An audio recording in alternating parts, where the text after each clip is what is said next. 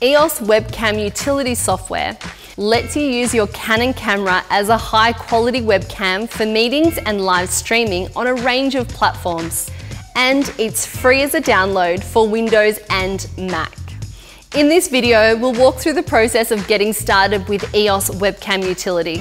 To get started, make sure you have your camera with a charged battery, a USB cable to connect your camera to your computer, a little tripod like this, which is handy to control your camera angle and frame your shot. Now we need to download the EOS Webcam Utility software from the Canon website. We'll put the link below for you to follow and download. Today I'm using a PC laptop, but if you're using a Mac, the process is the same. You just need to ensure you download and install the Mac version of the software. Once it's downloaded and installed, connect your camera using the camera's USB cable and make sure you switch the camera on.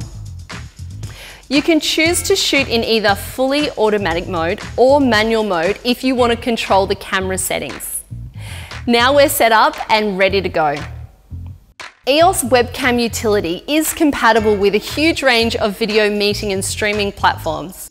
Today I'm going to show you how to get it working with Zoom, but the process is very similar no matter which platform you're using. Once we open Zoom and sign in, all you need to do is go to the settings menu, select video.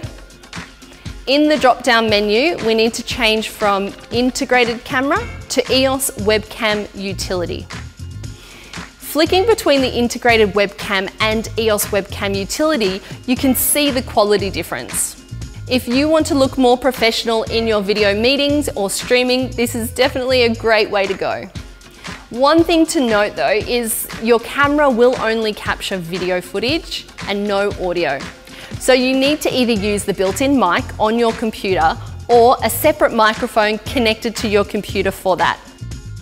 Now, it's as simple as getting your framing and exposure right and you're ready to stand out in your next video call.